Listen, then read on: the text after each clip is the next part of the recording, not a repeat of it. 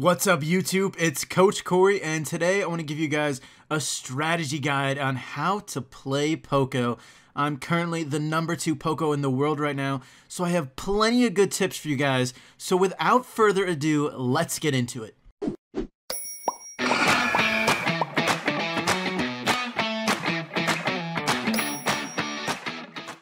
Okay, so guys, I did decide not to use my face cam for this video I think I'm going to give you guys better tips if I'm not worrying about speaking to the camera and I can just say the tips as well as possible. Now, real quick, I'm going to put up a table of content for you guys, so if you just want specific tips on how to use Poco, go ahead, skip to whatever parts you want in the video. Alright, so let's start out with some trophy pushing tips. So in general with Poco, to me, the best mode by far is smash and grab for Poco. He's honestly easily one of the best gem carriers in the game right now, and he's probably going to stay one of the better gem carriers even if he gets a small nerf. Now, Poco's also pretty good in Brawl Ball, and he's also pretty good in Showdown, so those are two other game modes you might push with Poco. Now, those are probably going to be the only three I recommend using Poco in. You can use him on some bounty maps, but for the most part, there's going to be a couple better options than Poco. And otherwise, he's not good in Heist, he's not good in Robo Rumble, and he's not good in Boss Fight. So, with Poco, stick to Smash and Grab, that's his best event, but he's also pretty good in Brawl Ball and Showdown. Alright, now let's go over some tips on how to use Poco's attack and general attacking tips with Poco. So Poco doesn't have much range. So most of the time when you're attacking, you're only to attack once or twice and then you're to fall back until you attack again. You're to be constantly going backwards and forwards, backwards and forwards while, you know, also dodging any potential shots. But that's what you're to be doing in order to get your shots in. You don't want to ever get too close. Because Poco has such low damage and damage per second overall, you really never want to be getting in really close to an enemy unless they're going to be two or three hits from death. So you're constantly going to be going back and forth, chipping away at enemies, building up your super, and just getting them lower health for your teammates to try and kill them. But another good tactic with Poco is since it takes him so long to kill enemies 1v1, oftentimes it can be better to just go and help out a teammate get a kill than just stay engaged in a long drawn out 1v1. Now, but if you're gonna do that, it has to be brief, just for a few attacks to help you and your teammate get that one kill. If you're staying and helping your teammate for too long, it's gonna make it too easy for the enemy who was attacking you to either come and attack both you and get easy hits, or to go in 2v1 your other teammate.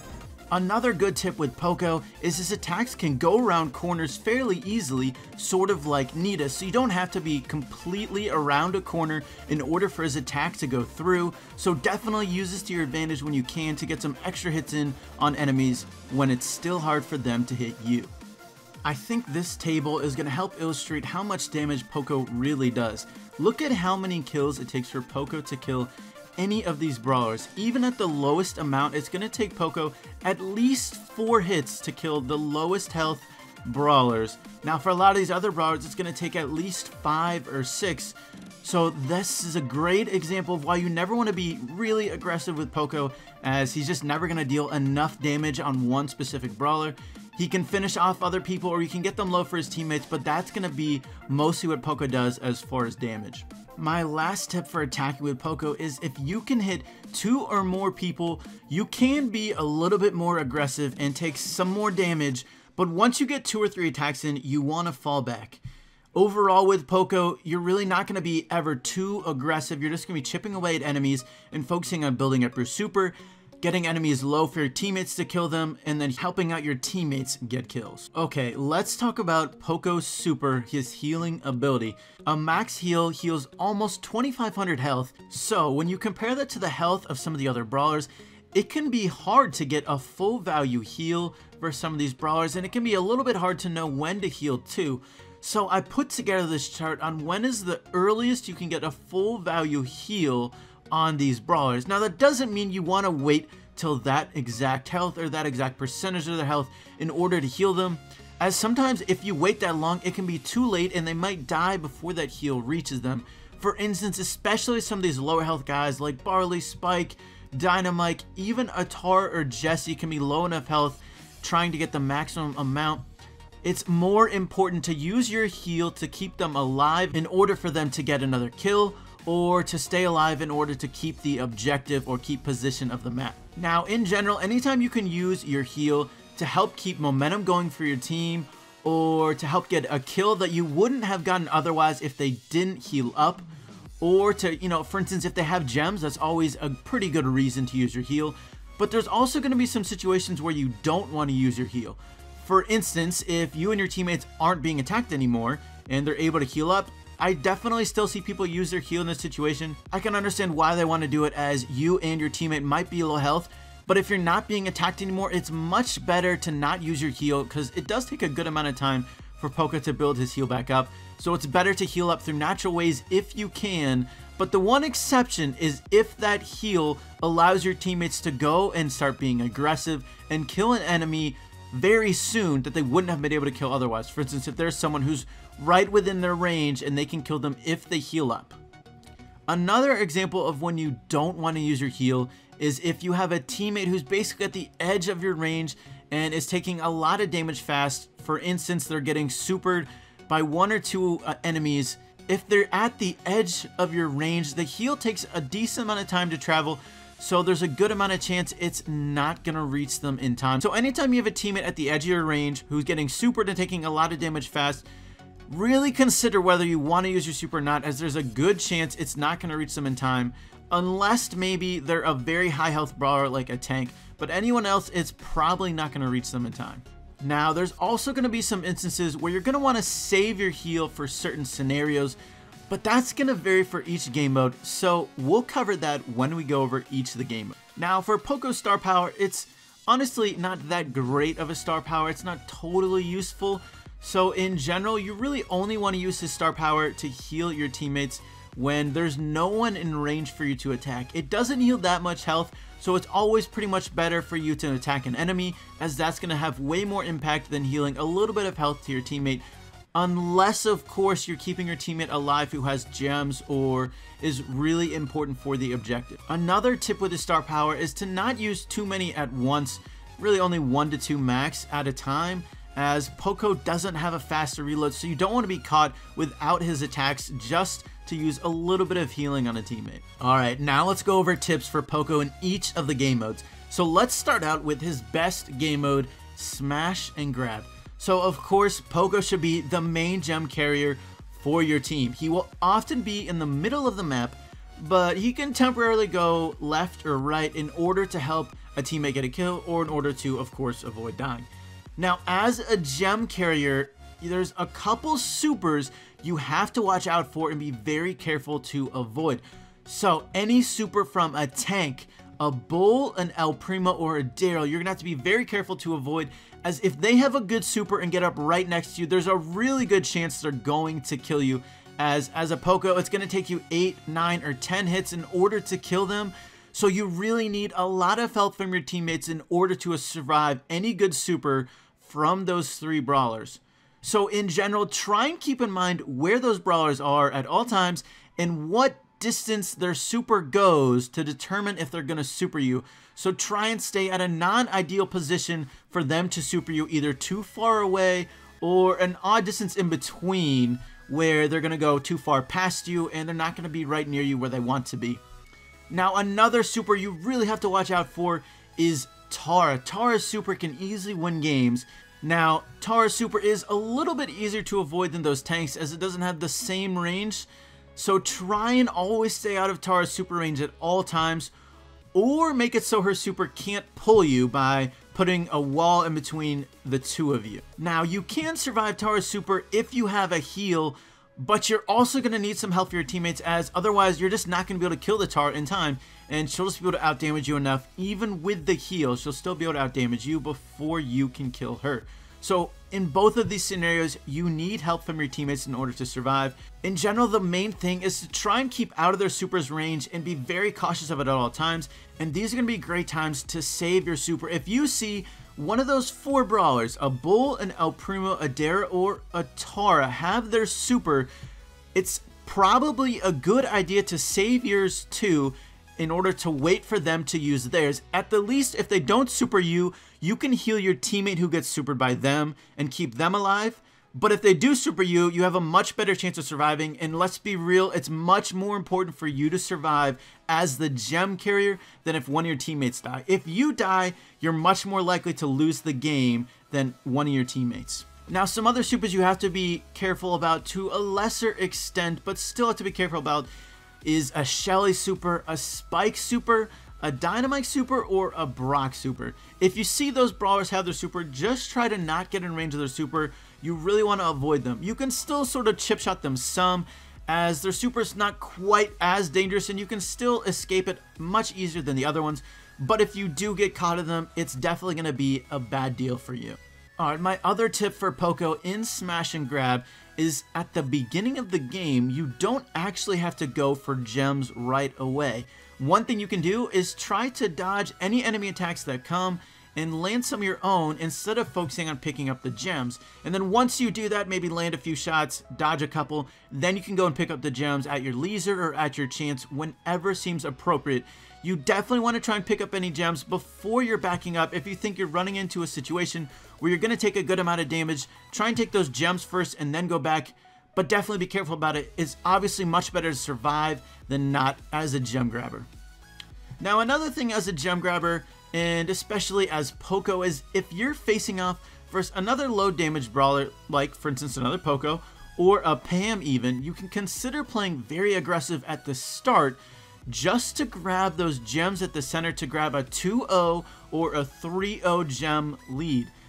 Now, however, if you do this and you take a good amount of damage while hardly dealing any to the enemy, it's likely going to have more of a negative effect on your team if you're going to do this, you have to make sure to dodge shots and just grab those gems, maybe get a couple shots in, and then you can pull back. It's okay to take some damage as long as you're dealing out some as well. One reason you would want to do this, though, is you're going to realize that both of you and the enemy across from you have a low chance of killing each other, so you can sort of be very aggressive, take those extra gems, and get that gem lead, as after all, that's what it's all about, is getting the gems and smash and grab. Now, as far as team comp with Poco in Smash and Grab, Poco doesn't deal much damage, so you really want to pair him with some other brawlers who can deal that damage instead of him. Another thing to keep in mind is Poco's heal doesn't really pair well with low health brawlers as it's hard for him to get much value from it.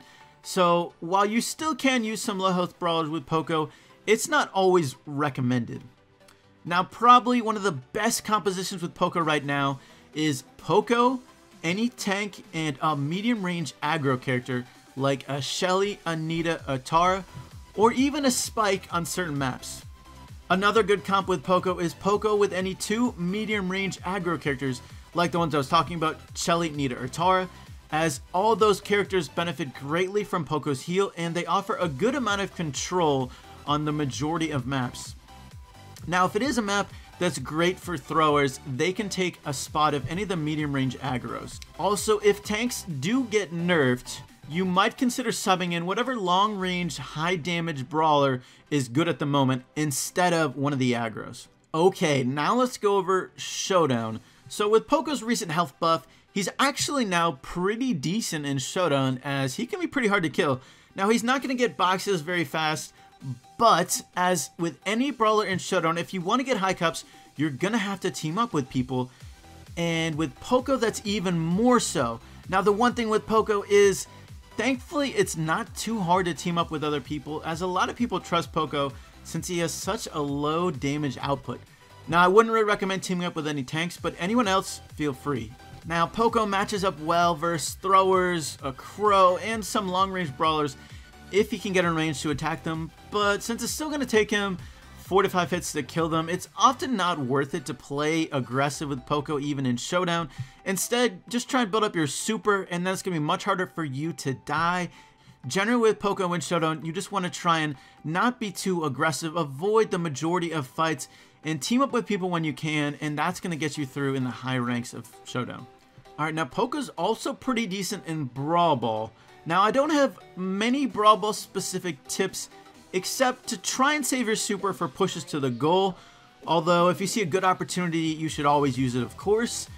Now, as far as team comp with Poco and Brawl it is going to depend on the map a little bit, but here's some comps that work well with Poco in Brawl Ball. You can use, for instance, a Poco, a Mortis, and a Tank.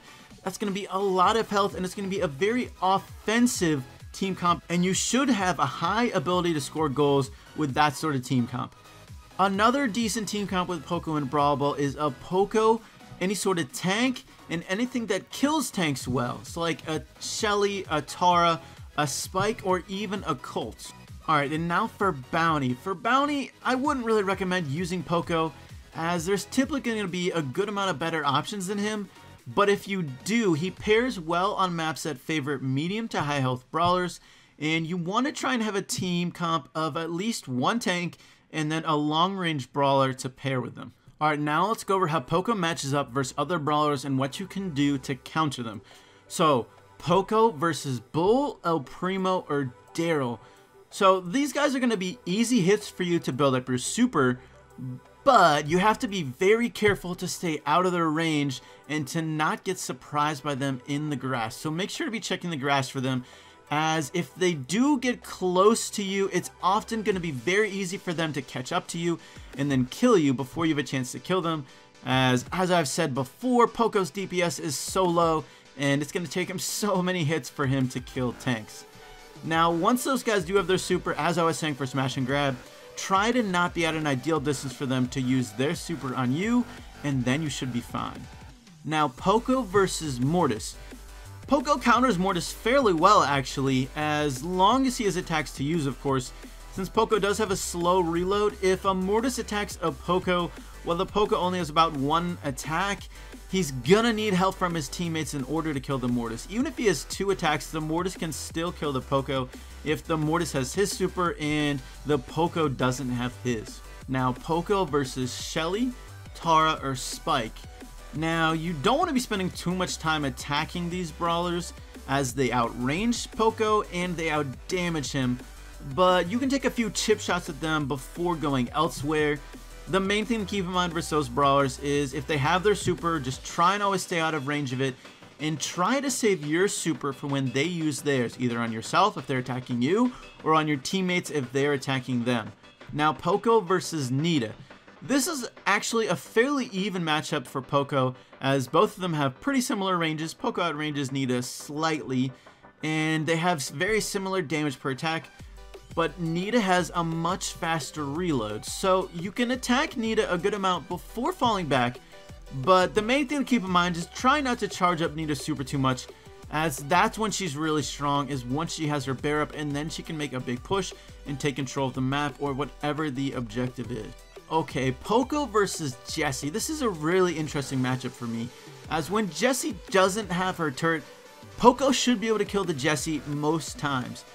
But if the Jessie has her turret up, Jessie is a great counter for Poco, especially if the Jessie has her star power, as Poco has to rely on his teammates to kill or help kill the turret since Poco doesn't have much range and his attacks don't do much damage, and that's going to make it very hard for the turret to be taken down by Poco. So because of this, when Poco is matched up against a Jessie, try to just focus on dodging her shots more so than dealing damage. Okay, Poco versus Barley and Dynamike. Now, neither of these are going to be ideal matchups for Poco. Barley is a little bit of a better matchup than Dynamike as he takes one less hit to kill, but he should be able to get their health fairly low if he can't kill them. In general, you don't want to be spending too much time attacking these brawlers unless they're cornered, because otherwise they're going to be able to easily outdamage you and you're going to be charging up their super, which is typically when they're most dangerous, especially Barley.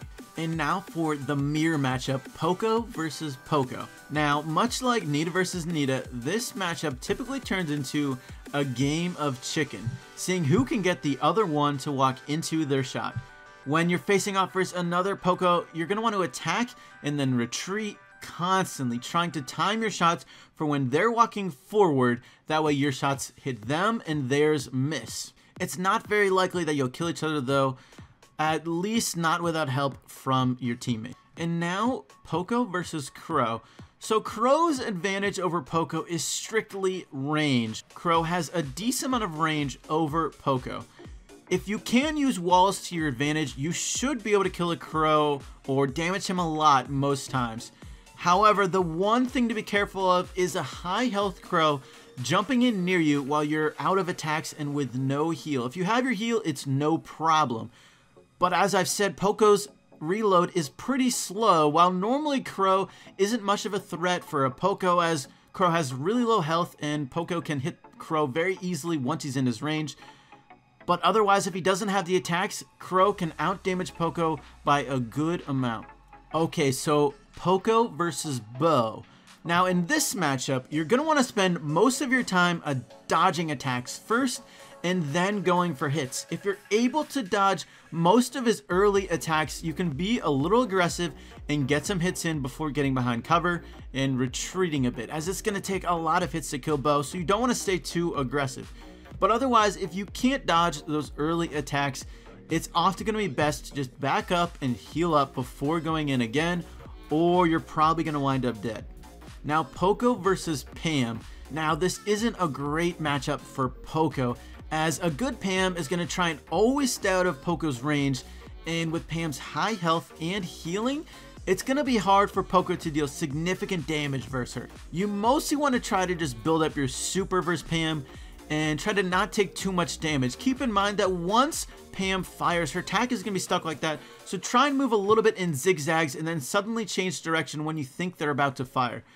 In general, you want to try and wait for a teammate to be attacking Pam to try and go in for the kill. Okay, now Poco versus Brock or Piper. When those guys are attacking you, you're going to want to move in a zigzag pattern to try and dodge their attacks. You want to make them think you're going one way and they're going to try and aim their shot ahead of time a little bit and then you're going to go back the other way and that's when they miss.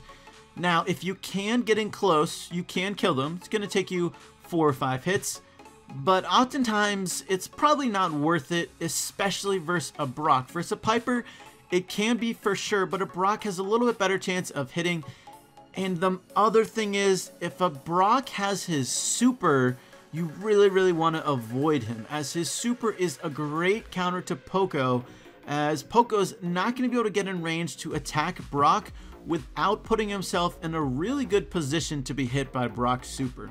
Okay, and now for the last matchup, Poco versus Colt and Ricochet. Now these are going to be brawlers you want to avoid unless you have them cornered or you have a teammate helping you out versus them. But even if you do have them cornered, they can still deal a massive amount of damage to you and make it not worth your while. As either way, it's going to take you a good amount of time for you to kill them, and during that time, they're going to have a lot of time to deal a good amount of damage to you. Alright everyone, those are all my tips and tricks on how to play Poco. What brawler do you want me to cover next in a brawler guide? Alright guys, thank you so much for watching. I hope you enjoyed and I will catch you later.